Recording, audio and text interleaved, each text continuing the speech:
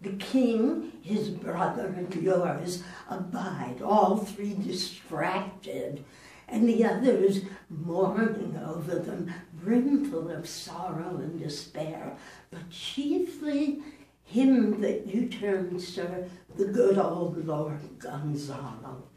Tears run down his beard like winter's drops from eaves of reeds. Your charms so strongly worksome that if you now beheld them, your feelings would become tender.